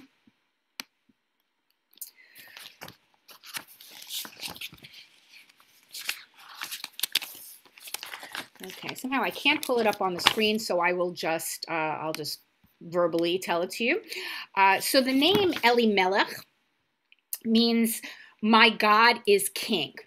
Okay, that's nice. Okay, so nothing uh, bad about that.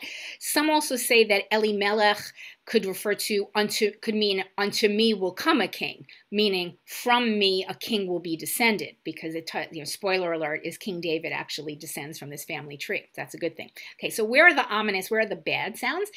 Kilion. Okay, I'll put this back on that I could put back on the screen.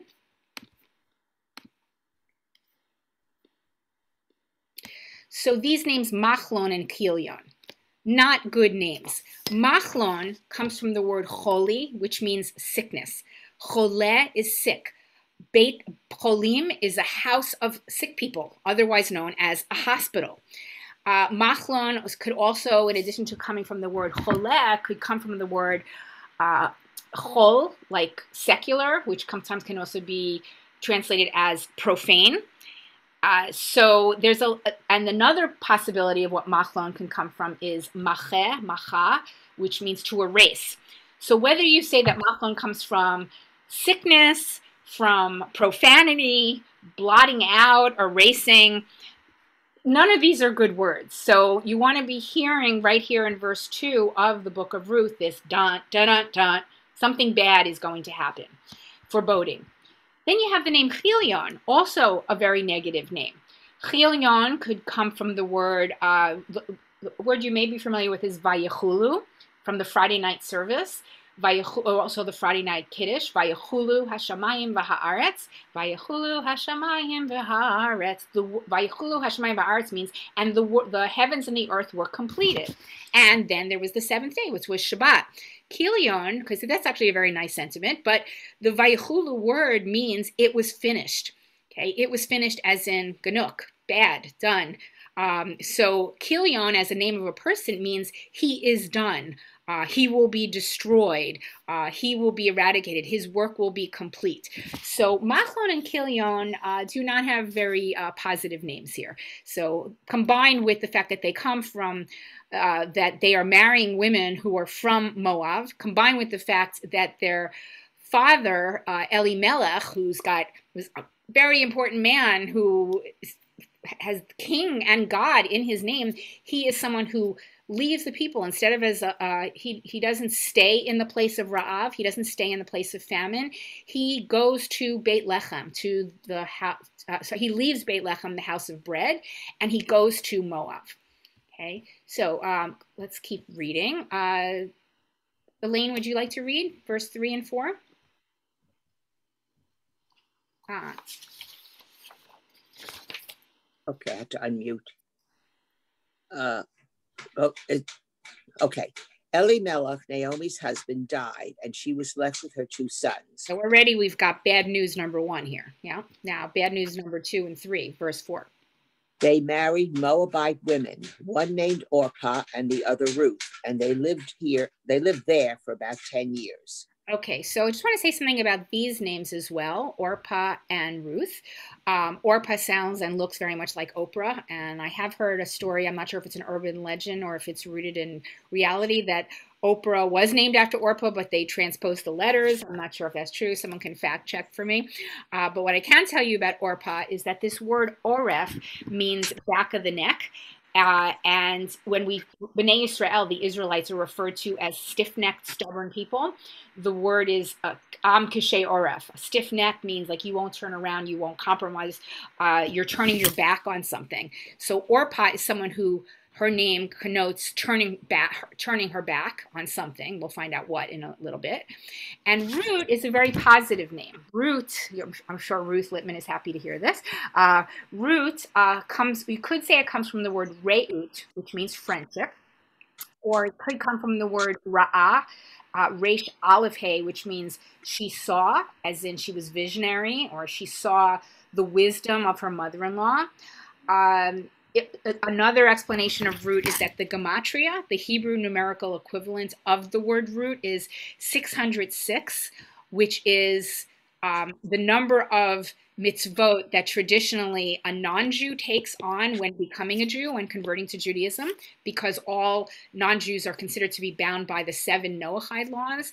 And so in addition to the, so when a non-Jew becomes a Jew, they're really taking on 606, so for a total of 613. And then the last really positive aspect of Ruth's name is that uh, Ruth is, when spelled backwards, is Tur, which is a turtle dove. And just as a turtle dove is considered to be as pure, uh, to be as fit for a korban on the mizbeach, to be a sacrifice on the altar, so was Ruth fit for inclusion in among Jewish people in the assembly of God. So lots of uh, nice Ruth explanations, and I'm happy to go over those with you one-on-one, Ruth, uh, in a separate venue if you want to write them down at some point, because it's always good to know the good aspects of your name. uh, okay, so Elaine, you were reading. Uh, let's, uh, Myrna, would you like to read, or Betty Ann? Myrna want to read? Okay. She started out with her daughters-in-law to return from the country of Moab. For in the country of Moab, she had heard that the Lord had taken note of his people and given them food. Accompanied by her two daughters-in-law, she left the place where she had been living, and they set out on the road to the land of Judah. Okay, keep going. But Naomi said to her two daughter-in-laws, turn back, each of you, to your mother's house May the Lord deal kindly with you as you have dealt with the dead and with me. May the Lord grant that each of you find security in the house of a husband. And she kissed them farewell. They broke into weeping and said to her, No, we will return with you to your people. But Naomi replied, Turn back, my daughters. Why should you go with me? Have I any more sons in my body who might be husbands for you? Turn back, my daughters, for I am too old to be married. Even if I thought there was hope for me, even if I were married tonight and I also bore sons. Should you wait for them to grow up? Should you, on their account, debar yourselves from marriage? Oh no, my daughters, my lot is far more bitter than yours, for the hand of the Lord has struck out against me. They broke into weeping again, and Orpah kissed her mother-in-law farewell, but Ruth clung to her. Okay, stop right there. So this Orpah kissing her mother-in-law farewell, that's where that Oref comes in, the back of her neck. She turned her back on her mother-in-law. She went back. Um, doesn't necessarily make her a bad person. It just makes her a very normal person. The average person in this situation would not go ahead to a foreign land with the with a mother-in-law when the husband's not even alive anymore. So Ruth does she goes above and beyond uh, what's considered, you know, she does she does above normal, um, and she clings to her. So with someone, actually, Ruth, why don't you read this the big Ruth speech here? So she said, See, your sister in law has returned to her people and her gods. Go follow your sister in law. But Ruth replied, not urge me to leave you, to turn back and not follow you. For wherever you go, I will go. Wherever you lodge, I will lodge. Your people shall be my people, and your God my God. Okay, read that again. I think we had some noise in the background there. So if you could read that again, verse 16. Okay, but Ruth replied, Do not urge me to leave you, to turn back and not follow you. For wherever you go, I will go. Wherever you lodge, I will lodge. Your people shall be my people, and your God my God. Keep going. Where you die, I will die, and there I will be buried. Thus and more may the Lord do me if anything but death parts me from you. Okay, very powerful, right? And you, many of you, I think, have heard this. Uh, I'll read it in Hebrew. She st- Ruth starts by saying, "Al tifki'i vi le'ozvech, lashuv me'acharayich, ki el asher telchi elech, uva asher talini alin, amech ami velohayich Elohai, ba'asher tamuti amut, visham ekaver, ko yaseh Hashem li v'cho yosif, ki hamavet yafrid beni uveinech." really powerful. Right? Look at how, in such strong words here in verse 16, she doesn't just say, I'm going with you, right? She could have just said, I'll go with you, but goes on to say, Your people shall be my people, Amech Ami, and your God shall be my God, which is why so many of the commentaries on the book of Ruth, the rabbinic understanding of Ruth, is that Ruth was the quintessential convert. Uh, although there's no description of a conversion ceremony here, by her making this statement, she's essentially making throwing her lot in with the Jewish people.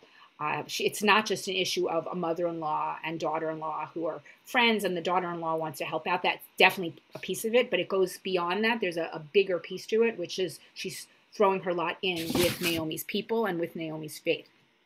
Um, so we'll go on now.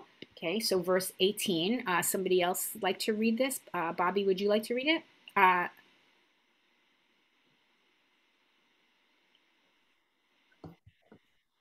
When Naomi saw how determined she was to go with her, she ceased to argue with her. And the two went on until they reached Bethlehem. When they arrived in Bethlehem, the whole city buzzed with excitement over them. The women said, Can this be Naomi? Do not call me Naomi, she replied. Call me Mara, for Shaddai has made, made my lot very bitter. I went away full, and the Lord has brought me back empty. How can you call me Naomi when the Lord has dealt harshly with me, when Shaddai has brought misfortune upon me? Thus Naomi returned from the country of Moab. She returned with her daughter in law Ruth the Moabite, and they arrived in Bethlehem at the beginning of the barley harvest. Okay, so that wraps up chapter one of the book of Ruth, and we'll, we'll go into some of the other chapters perhaps. But if you just had chapter one of the book of Ruth, uh, what might be some reasons that you might think that this is read on the holiday of Shavuot? Our acceptance of, of, of the law of God. Yeah. No hesitation. Yeah, I mean, she's doing at the individual level what Bnei Israel essentially did on the group level at Sinai, what we just read about in Exodus 19. So that reason enough to read it on, on Shavuot, right? Um, in a sense, Bnei Israel were converts in the sense that they were accepting faith. They were, yes, they were, they may have been born Hebrews, born Israelites, but until they had that covenant at Sinai, they were not really part of the people. They were not part of this covenantal relationship. Okay, so that makes it very appropriate for Shavuot. The very last uh, the very last verse that we read is another reason why this is read on Shavuot um, it's read on Shavuot because of the season. Oftentimes, books of the Torah or Megillot or additional readings have to write certain pieces are seasonally appropriate. And this was the time of the barley harvest. And as you know we're counting the omer right now right? It's a seven week counting 49 days between pesach and shavuot. So this is the time of the barley harvest right um, let me think if there's anything else I wanted to mention Okay, so there's some additional reasons why Ruth is read on Shavuot, but they come not from chapter one, they come from some of the later chapters. So let's go ahead and look at chapter two.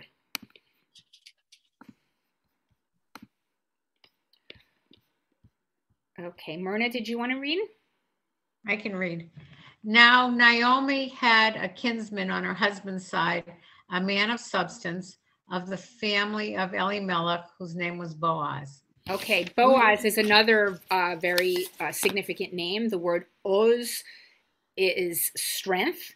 Oziv v'zimrat yahili lishua is uh, one of the lines in Shirat Hayam, the Song of the Sea. and It's about strength. So Boaz means in him is strength. Uh, in Arabic, I don't know if there's a connection here at all, but um, in Arabic, uh, Boaz could mean uh, could be connected to the Arabic word bazun, which means to be swift.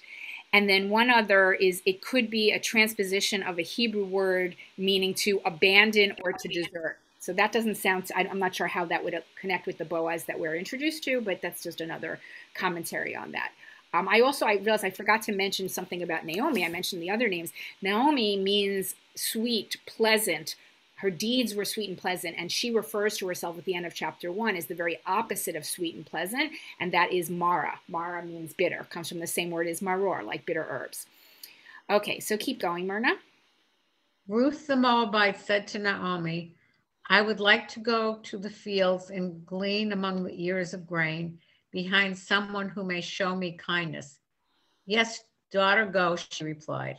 And off she went. She came and gleaned in the field behind the reapers, and as luck would have it, it was a piece of land belonging to Boaz. You have to scroll up. Who was of Elimelech's family. Uh, presently, Boaz arrived from Bethlehem. He greeted the reapers. The Lord be with you. And they responded, The Lord bless you. Boaz said to the servant who was in charge of the reapers, Whose girl is that? The servant in charge of the reapers replied, She is a Moabite girl who came back with Naomi from the country of Moab. She said, Please let me glean and gather among the sheaves behind the reapers. She has been on her feet ever since she came this morning. She has rested but little in the hut. Boaz said to Ruth, Listen to me, daughter. Don't go to glean in another field. Don't go elsewhere, but stay here close to my girls. Keep your eyes on the field they are reaping and follow them. I have ordered the men not to molest you. And when you are thirsty, go to the jars and drink some of the water that the men have drawn. Right. The, the word molest here, it does. Molest. This is a translation here. I'm not sure if they're concerned, the concern that there actually was going to be sexual molestation here, or if that, that they were just going to harass her, bother her, we're not really sure, but this is the this is the translation. The world is levilti nog ech, that they don't touch you. It, you know, it could mean a lot of things, but the translator made a choice here. Okay, keep going. She prostrated herself with her face to the ground and said to him, Why are you so kind as to single me out when I am a foreigner? Boaz said in reply, I have been told of all that you did for your mother in law after the death of your husband and how you left your father and mother in the land of your birth and came to a people you had not known before. May the Lord reward your deeds. May you have a full recompense from the Lord, the God of Israel, under whose wing you have sought refuge. She answered, You are most kind, my Lord, to comfort me and to speak gently to your maidservant, though I am not so much as one of your maidservants. At Mealtime, Boaz said to her, Come over here and partake of the meal and dip your morsel in the vinegar. So she sat down beside the reaper. She handed her roasted grain and she ate her fill and had some left over. When she got up again to glean, Boaz gave orders to his workers You are not only to let her glean among the sheaves without interference, but you must pull some stalks out of the heaps and leave them for her to glean and not scold her. She gleaned in the field until evening. Then she beat out what she had gleaned, and it was about an ephah of barley, and carried it back with her to town. When her mother in law saw what she had gleaned, and when she took out and gave her what she had left over after eating her fill, I'm going to scroll up. Her mother in law asked her, Where did you glean today? Where did you work? Blessed be he who took such generous notice of you. So she told her mother in law, whom she had worked with, saying, The name of the man with whom I worked today is Boaz. Naomi said to her daughter in law, Blessed be he of the Lord who has not failed in his kindness to the living or to the dead. For Naomi explained to her daughter in law, The man is related to us. He is one of our redeeming kinsmen.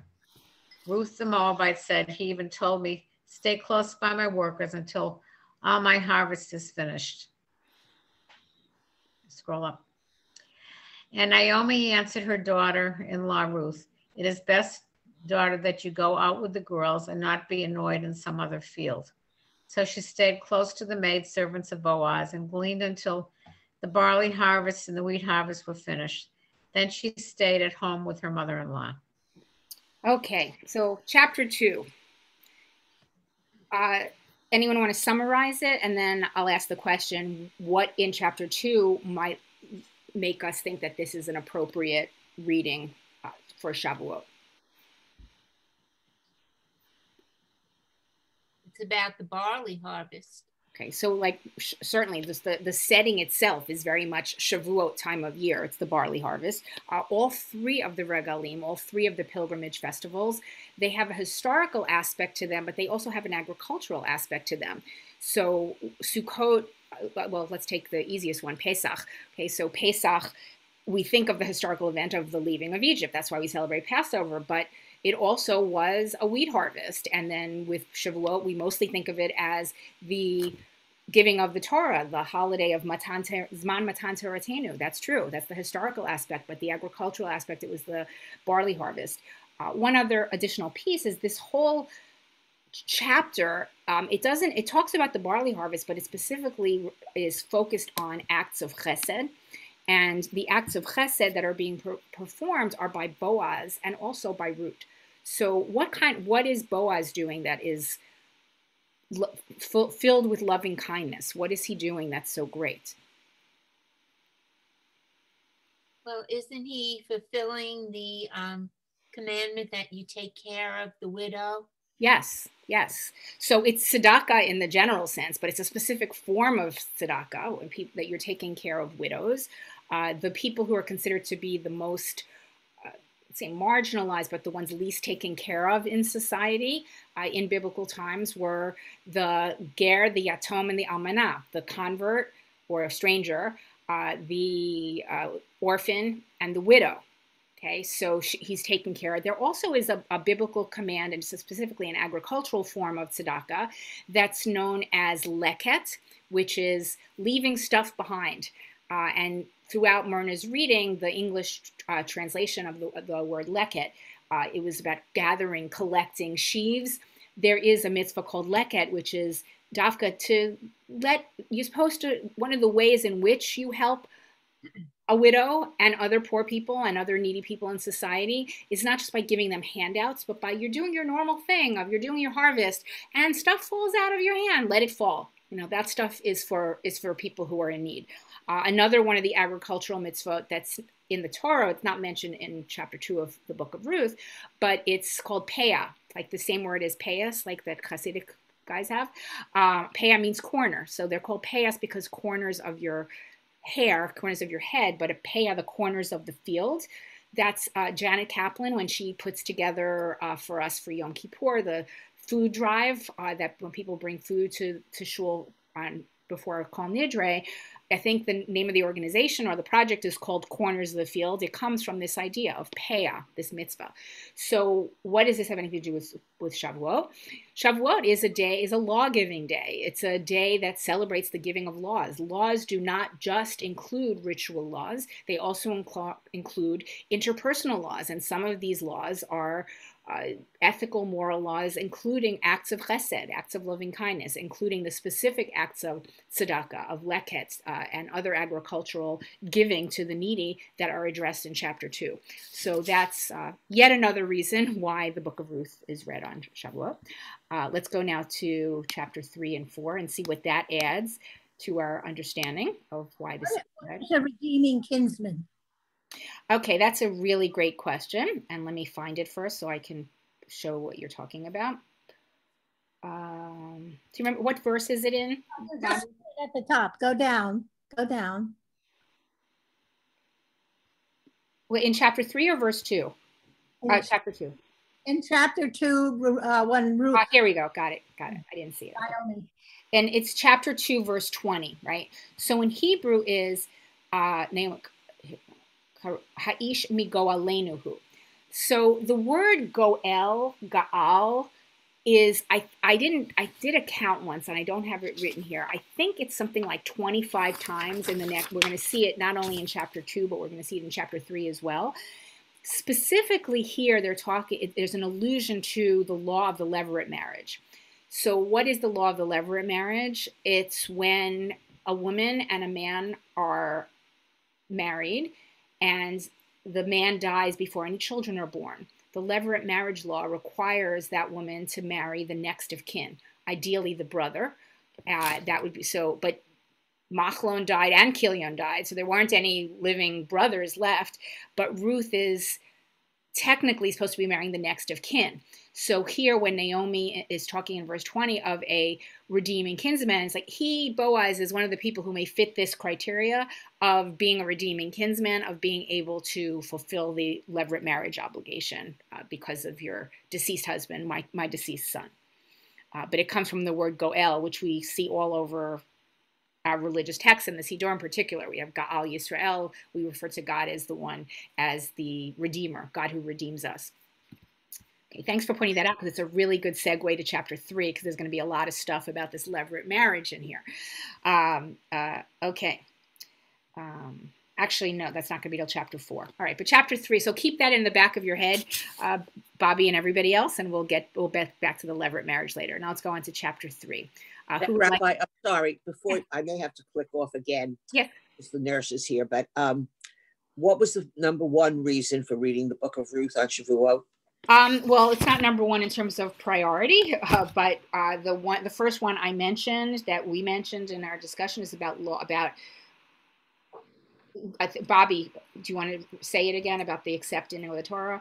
Oh, well, she she instantaneously accepts uh, uh, the Torah, and uh, your God shall be my God. This is what Ruth says to Naomi as she follows her back home. Oh, like we accepted the Torah. Like we accepted the Torah. Thank you. Without question. Yes. Okay, and the second reason, if you're still listening, Elaine, I think that we mentioned was about the barley harvest. And then here in, in, in what we read so far in chapter two was about acts of chesed. And um, the acts of chesed, so Boaz performs acts of chesed for Ruth, but also Ruth practices acts of chesed for Naomi. We're going to see this in, continuing to unfold in chapter three, but we saw the beginnings of it in chapter two, because the whole reason Ruth is going out there to glean is not just for herself, but also for her mother-in-law. And God and Bnei Israel's relationship is very much characterized by chesed as well, by this uh, love, mutual love. Um, okay, so now chapter three, chapter three. Uh, who would like to read this? Bobby, would you like to read? Oh, Naomi, her mother-in-law said to her, Daughter, I must seek a home for you where you may be happy. Now there is our kinsman Boaz, whose girls you were close to. He will be winnowing barley on the threshing floor tonight. So bathe yourself, so bathe, anoint yourself, dress up, and go to the threshing floor. But do not disclose yourself to the man until he has finished eating and drinking. When he lies down, note the place where he lies down and go over and uncover his feet and lie down. He will tell you what you ought to do. Sounds pretty Keep going. she replied, I will do everything you tell me. She went down to the threshing floor and did just as her mother in law had instructed her. Boaz ate, drank, and in cheerful mood went to lie down beside the grain pile. Then she went over stealthily and uncovered his feet and lay down. In the middle of the night, the man gave a start and pulled back. There was a woman lying at his feet. It's getting very hot and steamy here. Um, I think when I taught this class, this on Wild Women a few years ago, I pointed out how the word vatigal margalotav, uh, yes, it can be translated as regel, meaning leg, but margalit is a jewel, a precious jewel. And so it could be translated and said as that she didn't uncover his feet, she uncovered his crown jewels, so to speak. Um, so it was a little bit more racy of a scene than meets the eye. Keep going. In the middle of the night, the man gave a start and pulled back. There was a woman lying at his feet. Right. I had you read that again because I wanted to show you the Hebrew. We have that in our Passover Haggadah. So the the amazing story of Geula, the quintessential story of Geula, of redemption, redemption from Egypt. When we're telling it at our Passover Seder's in the Haggadah, we recall the verse from the Torah that says Vayihi b'chatzi in the book of Exodus, where it says that it was in the middle of the night that that tenth plague happened. It was in the middle of the night that the exodus from Egypt occurred. Um, it was after, as God was going, as the the angel was going from house to house, enacting the tenth plague, Makat Bechorot, the slaying of the firstborn. That's when Pharaoh finally changed his mind and said, "Okay, you can go." So Vayihi b'chatzi. It was in the middle of the night when we see these words in the book of Ruth, where we're sensing now positive, just how the book of one, the chapter one gave us some foreboding hints just by the names of the people. Here, by this phrase, Vayihi b'chatzi halayla, we're getting a sense that Geula, redemption, is at hand. Okay, so keep going, Bobby. Who are you? He asked, and she replied, I am your handmaid Ruth. Spread your robe over your handmaid, for you are a redeeming kinsman. Yep, there we go. And there's that word goel. You are a goel. Keep going. He exclaimed, Be blessed of the Lord, daughter. Your latest deed of loyalty is greater than the first, in that you have not turned to younger men, whether poor or rich. And for and now, daughter, have no fear. I will do in your behalf whatever you ask. For all the elders of my town know what a fine woman you are. But while it is true I am a redeeming kinsman, there is another Redeemer closer than I. Stay, stay for the night, then in the morning, if he will act as a Redeemer, good, let him redeem. But if he does not want to act as Redeemer for you, I will do so myself as the Lord lives. Lie down unto the morning. And here we go with the shoes, yes? Yeah. Keep going.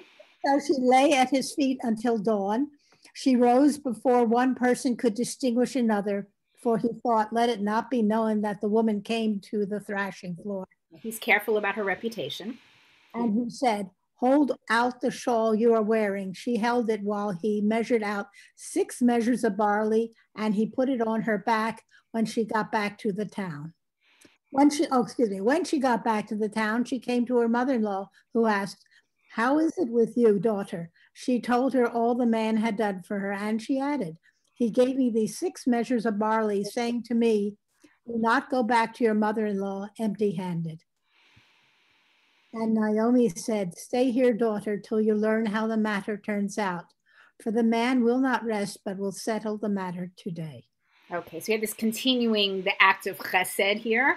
Um, and you have to say, not only is Boaz doing chesed for Ruth, Ruth is doing lots of chesed for Naomi. I mean, just the fact that she put herself in this uh, compromising position at the threshing floor, that alone, um, she gets uh, some kind of points for that. Uh, and we're getting the sense that positive things are going to come out of this connection.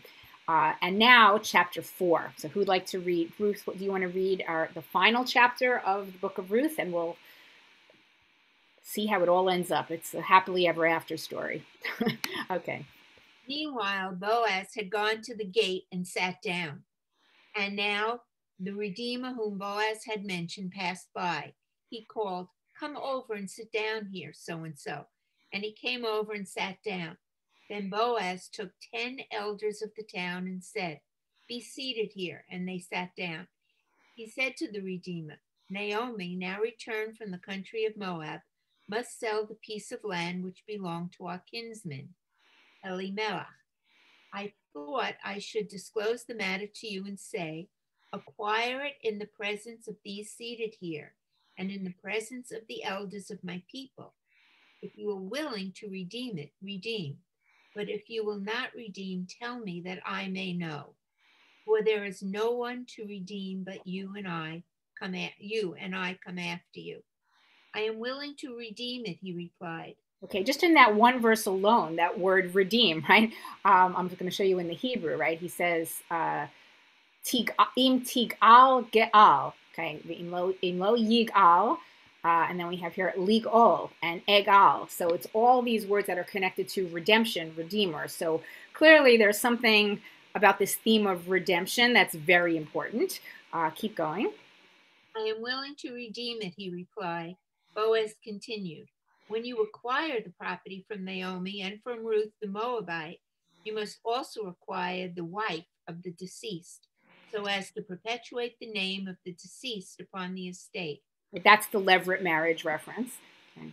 The Redeemer replied, Then I cannot redeem it for myself, lest I impair my own estate. You take over my right of redemption, for I am unable to exercise it. Now, this was formally done in Israel in cases of redemption or exchange. To validate any transaction, one man would take off his sandal and hand it to the other. Such was the practice in Israel. So when the Redeemer said to Boaz, Acquire for yourself, he drew off his sandal, and Boaz said to the elders, to the rest of the people, You are witness today that I am acquiring from Naomi all that belonged to uh, Elimelech, and all that belonged to Chilion and Mahlon.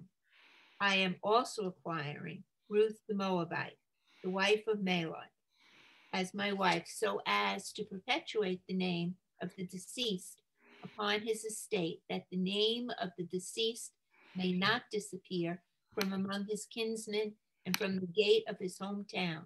You are witnesses today. All of the people at the gate and the elders answered, We are. May the Lord make the woman who is coming into your house like Rachel and Leah, both of whom built up the house of Israel, prosper in Ephraim, and perpetuate your name in Bethlehem. And may your house be like the house of Perez, whom Tamar born to Judah. Oh, we studied that. Yes. So the offspring which the Lord will give you by this young woman so okay, but wait, before we read the la- you read the last verses here, let me just show you the family tree here. Um, give me a second.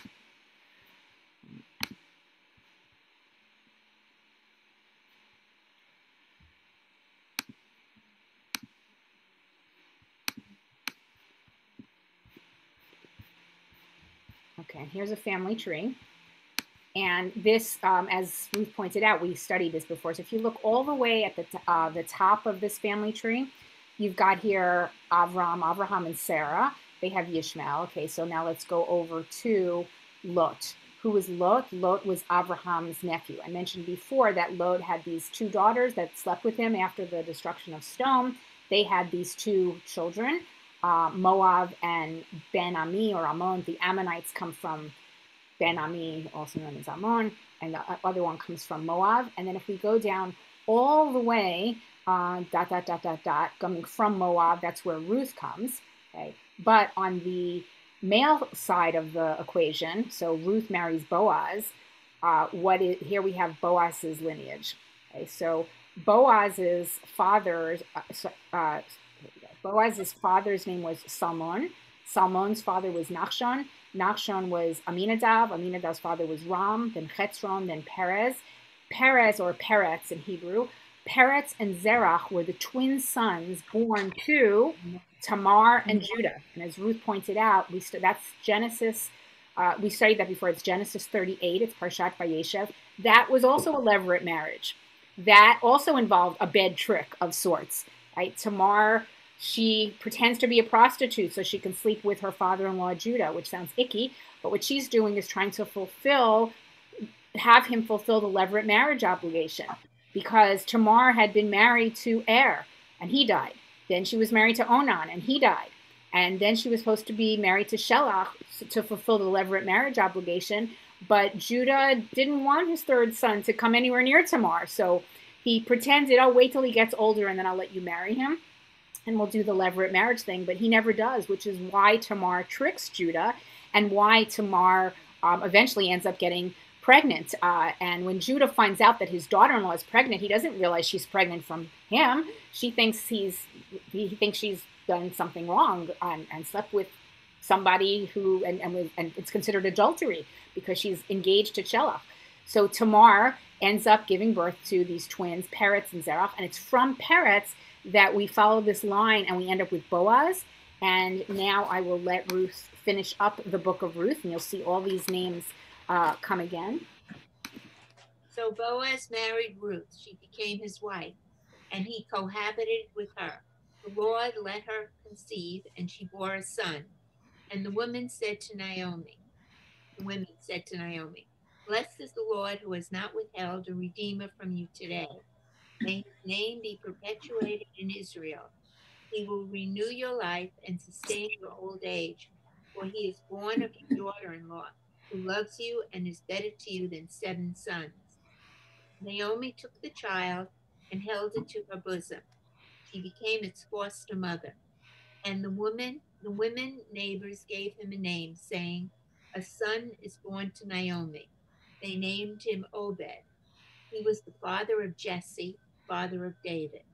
This is the line of Perez. Perez begot Herzon. Herzon begot Ram. Ram begot Amminadab. Amminadab begot Nishan. Nishan begot Salmon. Salmon begot Boaz. Boaz begot Obed. Obed begot Jesse. And Jesse begot David. And that's how the book of Ruth ends, which is crazy um, because we have all that like action packed, right? And so, right, so Bobby's saying, I, I could read Bobby's lips. What happened to Ruth, right? so um, it becomes very close. So, a couple of points to make. First of all, uh, that word goel, I did find my count here. The word words that come from the word from the root goel, gimel aleph lamed, are 23 times in chapter three and chapter four of the book of Ruth. And the underlying idea there, I, I think, is that the connection between Ruth and Boaz is the means by which God is brought back into the universe and the means by which Bnei Israel are redeemed. And so this theme of redemption is very much part of the book of Ruth, and it's also part of our Shavuot story. Uh, so it, it may be it's, it's, a stretch, but that's another Shavuot connection. Yet another Shavuot connection is that this is a story that ultimately ends with the genealogy, which means that that's like, in some sense, the whole point of the story. It's almost not about Ruth. Um, it's somehow about David. And it's a story of fulfilling legal obligations and which reflects the legal nature of the Brit, the covenant between God and Bnei Israel at Sinai, and also the recurrent theme of Brit covenant throughout the Torah. Uh, but if you're searching for yet another reason why this may be read on Shavuot, um, according to rabbinic tradition, King David, um, it, who was a descendant of Ruth, through that whole line that our Ruth Lippman just read, uh, he died on Shavuot, according to rabbinic tradition. So if you take that reason with all the others I gave, you have at least half a dozen reasons why Ruth is a fitting book to read on Shavuot. Um, so I will was not planning to. I was planning to leave you with that, but because we are all women now, we uh, we lost our token male. Uh, I am going to end with something that is more female centered um, to share with you and as another takeaway not connected with shavuot per se uh, but there was a time that i taught the book of ruth once to a bunch of uh, congregants at a church in the Philadelphia area, and uh, this is one of the materials that I used with them. So I wanted to share this with you.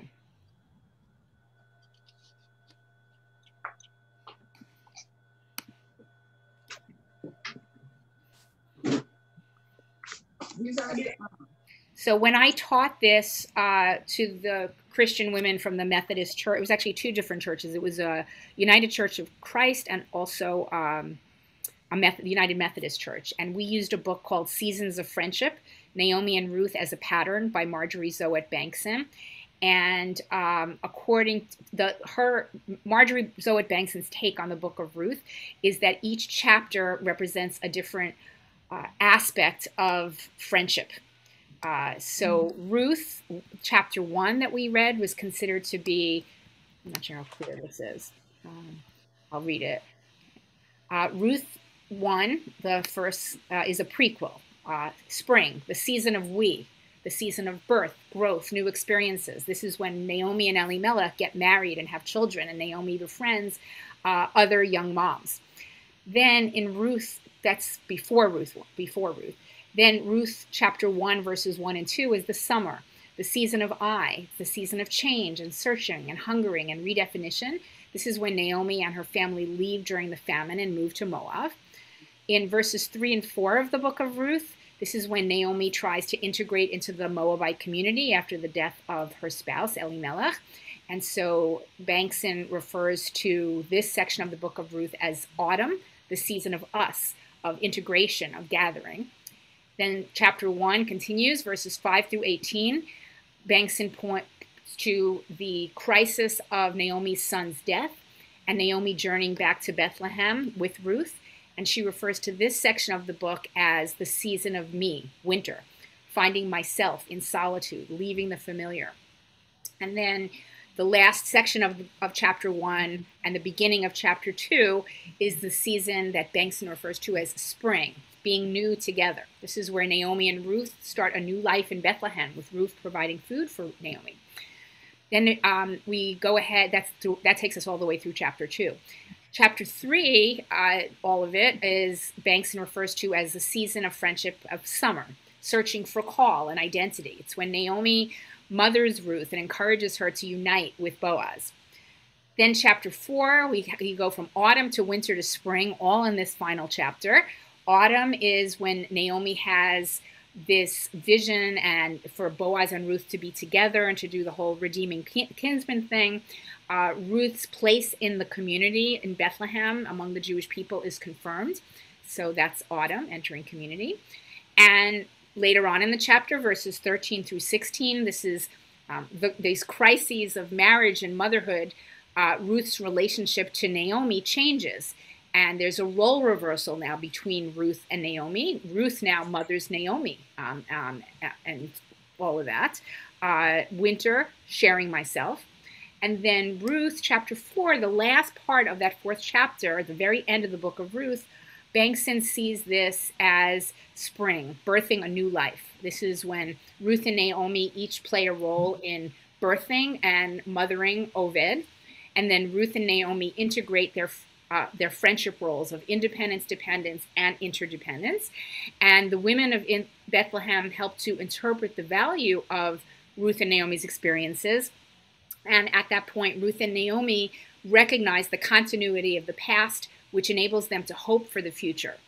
And um, so, what I wrote down here this is a quote directly from the book, from Bankson's book. We have different types of friendship in each season. The seasons continue to cycle by in a spiraling path repeating the process and renewing us each time, building on the discoveries and relationships from the previous season.